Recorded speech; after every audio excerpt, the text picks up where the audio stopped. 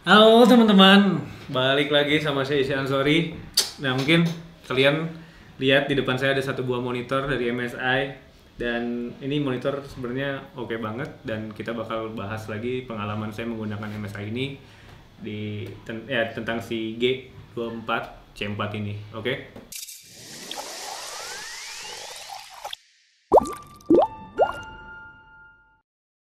Nah, sebenarnya monitor ini oke banget. Saya udah pakai monitor ini sekitar satu tahun 8 bulan. Dan ini juga secara fitur juga udah oke. Dia 144 Hz, curve, panelnya VA, tapi udah support FreeSync dan sebenarnya dia support uh, G-Sync juga, cuman gak dilabelin aja. Uh, dan color gamutnya tuh white banget, terus kontrasnya itu 30.000 banding 1 dengan uh, view angle-nya itu 178 derajat uh, horizontal vertikal gitu. Ya gue pakai ini juga aman-aman aja selama ini dan tiba cuman kejadian satu hari di mana ini sebenarnya asalnya jadi main monitor gue jatuh dan itu bukan sama gue sebenarnya. Uh, gue juga nggak tahu sama siapa. Terus jatuh nah ini nimpa si mouse gue dan kejadian lah kayak gini gitu. Panelnya rusak. Nah pengalaman gua, yang mau gue ceritain ketika gue coba benerin si MSI G24 C4 ini. Jadi di Bandung itu buat service centernya MSI itu cuma ada di satu tempat yang ada di Pascal. Uh, mungkin teman-teman juga tahu itu service centernya Lenovo, Canon dan lain-lain. Nah akhirnya gue bawa ke sana dan gue bawa ke sana mungkin gue lebih enak ada masih ada chat WA-nya. Gue bawa ke sana itu Juni tanggal 22 uh, dan itu uh, dibilang kayak butuh waktu pemeriksaan sekitar dua minggu.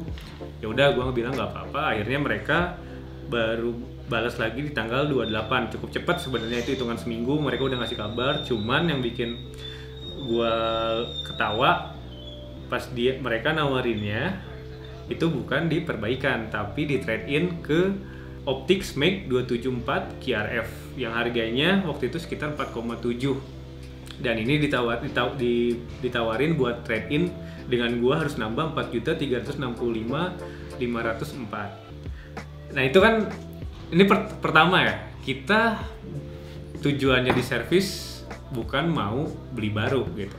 Kalau misalkan kita harus nge-spend lagi 4 juta 300 mendingan kita udah beli aja nggak usah beli MSI lagi. Itu kan pertama. Kedua si ya ini lucu aja gitu. Kalau misalkan kita beli barang yang udah setelah lewat dari masa garansi kita nggak bisa memperbaiki itu. Jadinya kayak ini kan produk berarti nggak durable. Maksudnya bukan nggak durable ya.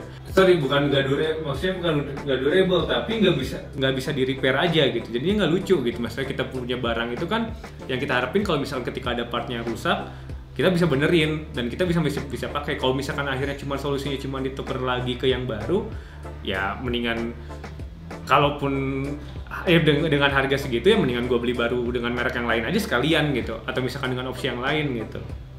Itu yang yang yang kedua ya maksudnya. Nah akhirnya dari situ gue bilang kena, karena harus trade in ke motor tersebut jauh banget rasanya budgetnya bisa nggak? Kalau misalkan gue mintanya ke yang 24 in aja si Mac uh, Mac 24 1 C Mac 24 1 C CR gitu atau ke si Optics 271 nah itu itu nggak ada dibalas tuh. Baru dibalas lagi besoknya.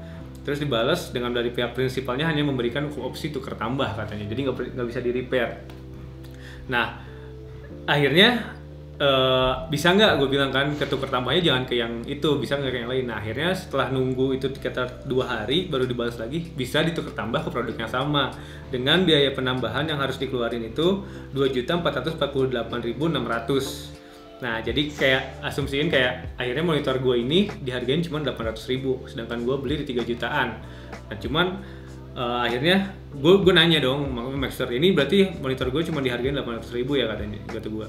Terus dia cuma balas kayak harga sesuai yang diinformasiin dari prinsipal aja mas katanya kayak gitu. Terus oh terus kalau misalkan gue trade in, gue prosesnya berapa lama? Itu katanya inden sekitar tujuh hari karena barang dikirim dari uh, gudang katanya.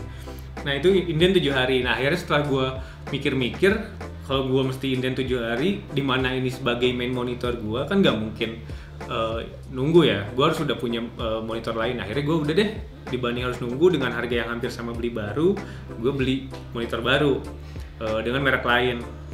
nah akhirnya eh, sambil situ gue akhirnya ngobrol sama adik gimana kalau misalkan si monitor ini kamu beli aja biar dibanding gak jadi bangke gitu Eh, di 2.488 itu nah akhirnya tapi setelah akhirnya kita mutusin enggak deh kayaknya nggak nggak usah dibenerin dulu sampai bener-bener gue ada eh, budget dan ini bakal jadi second monitor gue asalnya gitu. Terus akhirnya di bulan di bulan Oktober gue mau ngajuin nih barang ini buat di trade in lagi. Cuman nah itu gue masukin lagi dengan sama proses kayak pertama. Itu katanya estimasi sekitar satu minggu sampai dua minggu lah buat eh, kontakan sama prinsipal. Tapi gue nungguin tiga minggu itu belum ada update. Gue follow up di minggu ketik ke keempatnya itu baru dibalas nih sama si eh, service center yang di Bandung. Kalau misalkan stok buat trading ini udah nggak ada lagi kami sarankan untuk pembelian baru saja. Itu itu gue kaget kayak maksudnya ini kok lucu ya? Maksudnya pertama dit- ditawarin buat trade in terus akhirnya disuruh uh, trade in eh, eh, ngasih penawaran trade in yang unit yang sama ready. Terus tapi pas saya mau ngajuin memang pas ketika kita ada duitnya itu dibilangin udah nggak ada programnya gitu. Terus gue bilang kenapa? Kan itu gue nunggu tiga minggu ya. Kenapa nggak bilang dari minggu pertama kalau misalkan programnya nggak ada Iya nggak sih? Kalau misalkan ngomongin program bukan ngomongin stok dong. Itu kan cepet bilang bisa bilang programnya udah nggak ada mas. Dari pas gue datang misalkan. Mas programnya emang udah nggak ada trade in. Ya gue nggak akan nunggu tiga minggu dong. Capek-capek buang-buang waktu nungguin tiga minggu cuma dikabarin kalau misalkan programnya udah nggak ada. Kalau misalkan alasannya lebih kayak mas karena produknya udah discontinue mau nggak ke barang yang lain. Itu lebih solutif. Karena ya ya karena ini gue udah ngalamin dua hal yang gak solutif. Pertama dengan fitur trade in aja. Nggak bisa di repair yang kedua ketika gue mau trade in programnya udah nggak ada. Itu kan ya lu bayangin aja lu punya barang jadinya kayak sia-sia aja jadi bangkai kayak gini gitu. Diem do- diem doang dan mungkin lu juga mesti pertimbangin lah mungkin. Gue juga nggak tahu sebenarnya yang salah siapa. Apakah service center yang ada di Bandung atau si prinsipalnya sendiri karena gua selama ini sebenarnya pakai barang MSI dari motherboard dari VGA eh, ya ini ke- baru kejadian itu pas monitor ini. Dan gue juga nggak pernah sebenarnya keja- eh, keja- ngalamin yang kejadian sampai rusak gini. Dan namanya kecelakaan kita juga nggak tahu. Dan mungkin lu juga harus mikir kalau ketika beli si MSI ini terutama di monitor jangan sampai lu ngalamin hal yang sama kayak gua. Ketika barangnya rusak di luar eh, masa garansi dan buk namanya kecelakaan atau misalkan kena air yang nggak sengaja lu kejadiannya harus trade in juga. Itu dan ternyata gua nanya-nanya ke beberapa toko di Bandung apakah bener eh, si pelayanan CMSI seperti ini? Ada yang cerita ternyata dia bahkan ngeklaimin satu buah monitor yang di mana itu monitor umurnya baru tiga bulan tiba-tiba panelnya rusak itu nggak digubris sama sekali sama pihak MSI dan itu sampai dia harus follow up 7 bulan bener-bener sampai ke prinsipalnya baru bisa diganti baru. Bayangin lu punya satu barang yang sebenarnya dari segi waktu tuh maksudnya lu bandingin sama waktu yang lu buangin selama 7 bulan misalkan barangnya 4 juta lu ngabisin 7 bulan buat ngejar-ngejar orang ngapain? Kalau eh, ya maksudnya lu ngapain ngabisin waktu buat satu barang yang sebenarnya lu banyak substitusinya tapi jadinya lu nggak bisa nggak maksudnya apalagi kalau misalkan lu jadi main, main monitor lu ya gitu ya maksudnya lu mau beli baru bingung nunggu kabar lu punya duit juga budgetnya nggak eh, belum tentu ada terus gitu. Ya kalau nggak semua orang punya duit gitu maksudnya. Kalau misalkan emang lu dari beli monitor setelah nabung sekian lama terus akhirnya dikasih opsinya cuman trade in atau bahkan nggak dikasih opsi sama sekali terus harus follow up selama tujuh bulan enggak kan nggak mau kan ngapain gitu. Jadi yang gue harapin eh gue nggak minta solusinya sekarang buat MSI karena gue juga nggak anggap ini udah udah eh, nggak anggap ini bakal ada solusinya. Gue sudah cukup aja dan cuman mungkin ke depannya gue buat beli produk monitor MSI gue nggak nggak nggak nggak akan jadi opsi pertama lah. Meskipun dari build quality nggak ada yang salah cuman dari after salesnya jelek banget. Itu yang gue kecewa. Dari kalau misalkan sama VGA dan lainnya sih gue nggak ada masalah selama ini buat klaim. Ya itu sih gue cuma ngasih info ke teman-teman yang mau beli monitor MSI dipertimbangin lagi. Jadi karena sekarang juga udah banyak opsi monitor yang lebih murah dengan fitur yang sama dengan kualitasnya juga nggak jauh beda dengan panel IPS dan lain-lain.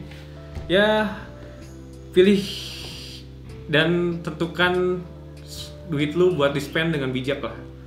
Dan lu beli brand itu jangan eh, ya harus tahu after salesnya juga. Dan ini pengalaman after sales ini mungkin teman-teman jadi pertimbangan oke mungkin gue aja harap teman-teman gak ada yang ngalamin hal yang sama kayak gue buat eh, ngeklaim kasus eh, kayak si monitor gue ini.